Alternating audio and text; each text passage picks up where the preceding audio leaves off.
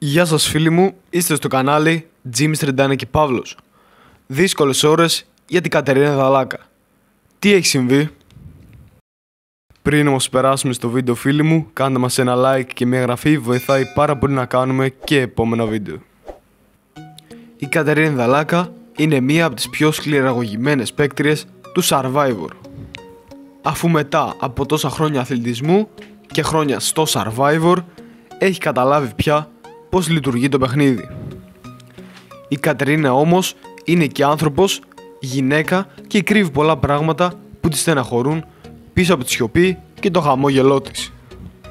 Μετά την αποχώρηση του Αλέξη Παπά, είδαμε την Κατερίνα Δαλάκα να δηλώνει με μεγάλη ψυχραιμία πως ναι, έχει στεναχωρηθεί πολύ που ο καλύτερος φίλος Αλέξη Παπάς αποχώρησε έτσι ξαφνικά.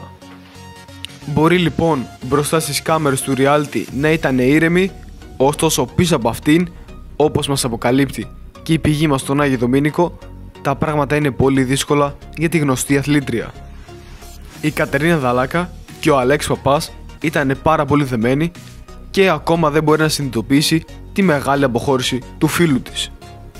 Πληροφορίες λοιπόν μας αναφέρουν πως τα πρώτα 24 ώρα μετά την αποχώρηση του Αλέξη Παπά ήταν πολύ δύσκολα για την Κατερίνα.